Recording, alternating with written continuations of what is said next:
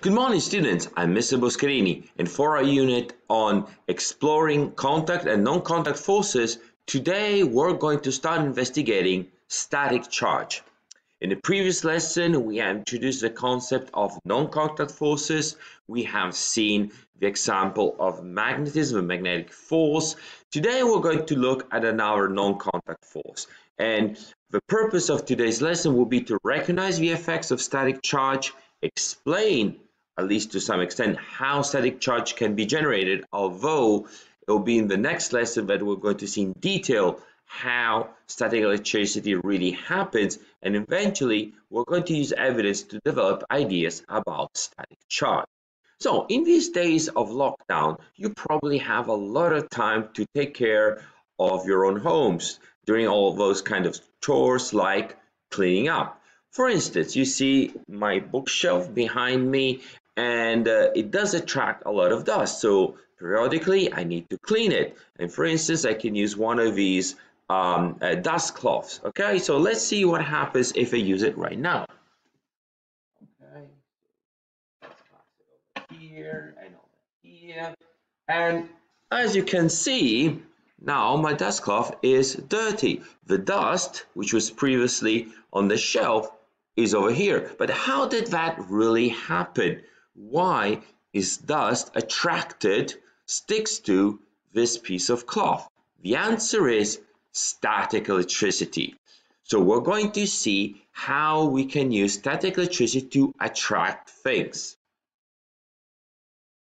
So uh, in order to see this, today we're going to use something which is usually associated with the idea of fun, that is a party balloon.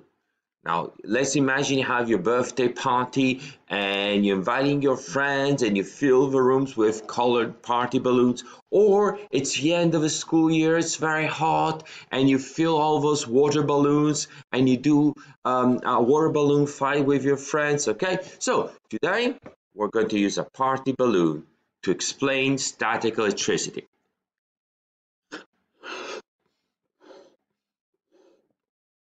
And this is already the tough part for a lot of students. Blowing a party balloon and then tying it up takes a lot of exercise, but looks like I've been successful. So let's see what we can do now with this party balloon. Okay, so let's investigate about static electricity. For this activity, which you can really uh, easily do at home, you just need very small scraps of paper, so you take any type of paper, the lighter the better, and you cut in very, very small pieces, okay? The smaller the better. You put it on the flat surface, and the next thing you need is a party balloon, like this one. Now, you don't need to overinflate it, okay? As long as it's nice and tight, and you tie your knot over here, okay? The next step is to how can we say, charge the balloon. In order to do that, you need to, uh, for instance, rub it against your hair. I do recommend that you wash your hair. Um, uh, dry, clean air uh, really uh, works the best in these cases. So let's do this. And let's see what happens now to the pieces of paper. And as you can see, the paper gets attracted by the balloon and sticks on the balloon. So, thanks to this simple demonstration, we're now able to answer this question. What happens when you rub a party balloon against your hair and then bring it closer to small pieces of paper? And as we all observed, and this is again, it's something that you can try at home, the pieces of paper will jump towards the balloon, okay? So they will get attracted. What it means, means we're, we're seeing a new type of force, a new type of non-contact force because it's acting at a distance. Of course, this is not magnetism because neither of these materials are magnetic. Uh, a party balloon is made of rubber, which is not magnetic, and pieces of paper made of paper, which is not magnetic. So it's a totally different kind of non-contact force. We're going to call this non-contact force static electricity. And static, uh, why static? It will be more clear in the next lesson. Just remember, static means something that is not moving. It stays there. Of course, it doesn't refer to what happens to the object, but actually refers to these um, uh, quantities known as charges. So this effect is known as static charge. And as we saw, it is another example of an non-contact force. In the next two segments of this video, we're going to see two other demonstrations that again you can easily set up at home to show how static electricity can act at a distance. As we saw, static electricity is a non-contact force. So it's a force that can act at a distance without touching something. And we can use this to our advantage to make some sort of a magic trick. So for instance, let's imagine you have a soda can. This is by no means product placement, of course, okay? An empty soda can, of course.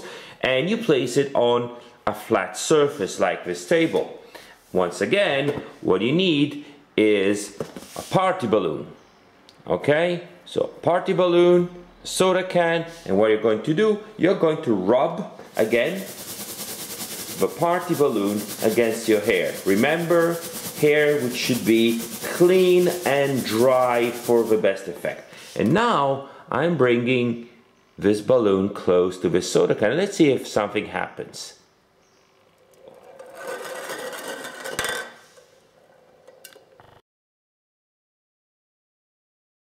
Another nice trick you can try to do at home with static electricity is with water. So let's imagine you go to the kitchen or your bathroom and you have your water tap and you open your water tap and the trick here is really to have a stream of water which has to be as thin as possible but still a bit continuous like this one okay? And then again you need your party balloon and what I'm going to do again I'm going to rub it against my head as you probably can hear it. And then you bring the balloon close to water. Let's see what happens to the water. The water is bending towards the balloon.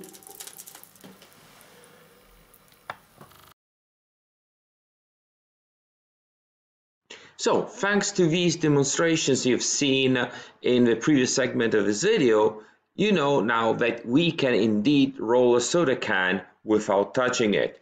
Again, this is something you can do very easily at home. You just need your party balloon, you need uh, some hair against it, you have to rub it, and an empty soda can. And probably you notice that once you bring the balloon close to the soda can, the soda can was rolling towards the balloon. In the same way, the stream of water was bending towards the balloon.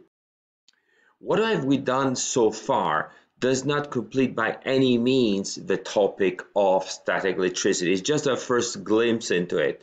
In our next lesson, we're going to see this in more detail, but more explicitly, we're going to see why static electricity happens. But at this point, you already have some idea on how we can make static electricity and what kind of um, uh, effects it can cause. So this is something I will leave you with a small exercise to do at home because at this point we have explored, at least we started to explore static electricity and we have explored at length magnetism. And maybe what you could do now is just to make us a very short list of what are the similarities and what are the differences between these two. So what do they have in common?